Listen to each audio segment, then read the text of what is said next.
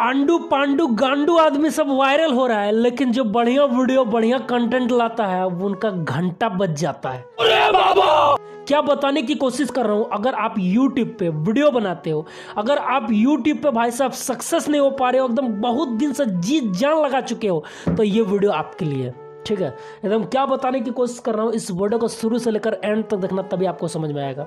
भाई साहब एक लड़का था मैंने बहुत मेहनत किया अपने यूट्यूब चैनल पर। एकदम बहुत कंसिस्टेंसी रख के एक कैटेगरी वाइज वीडियो अपलोड किया, खूब सारा वीडियो अपलोड किया, बहुत सारे वीडियो हर, मैंने बोलोगे ना, एकदम तरह तरह का एक्सपेरिमेंट करके देख लिया अपने यूट्यूब चैनल पर, लेकिन उनकी वीडियो वायरल जरा सा भी नहीं हुई। मतलब क्या भाई साहब, खूब से खूब पचास व्यू लास्ट पचास व्यू उससे ज़्यादा नहीं, ठीक है? तो भाई साहब, उस बंदे का दोस्त क्या था? बता सकते हो? कोई भी बड़ा से बड़ा क्रिएटर काहे नहीं आ जाएगा। चाहे मनोज दे रहे टैग चैंपियन सपोर्ट रहे creator search two point zero रहे, कोई भी यूट्यूबर आ जाएगा। हाँ कुछ नहीं, कोई कर सकता है। ठीक है? अब बहुत बहुत सारे बंदे बोलेंगे कि तू टाइटल ऐसे लिखता है, ऐसे लिख। मैंने देखो भाई साहब, कोई भी सक्सेस हो जाता है ना, मान लो कोई सरकारी जॉब में है भाई साहब, कोई सरकारी जॉब कर रहा है। सपोज़ दैट मान लो भाई साहब, कोई रेलवे में जॉब कर रहा है ड्यूटी कर रहा है, सरकारी नौकरी है किसका?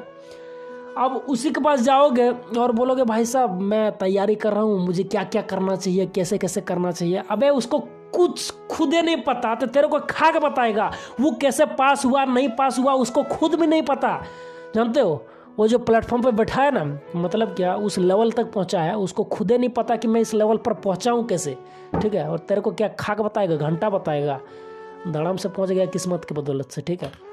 ज़्यादा कुछ नहीं बोलूँगा, अगर समझदार हो तो अपने चैनल पे काम करो, अगर ऊपर वाला की इच्छा रहा तो जाओगे। और ऊपर वाला की इच्छा नहीं रहा तो बस, ठीक है, बजेगा घंटा। बाकी आप लोगों का क्या राय है? अगर मैंने कुछ गलत बोला होगा तो एकदम वो भी बताना। और अगर मेरी इस वीडियो से आप लोगों को संतुष्टि मिला होगा तो प्लीज़ वो भी बताना, ठीक है? तब तक के लिए जय हिंद।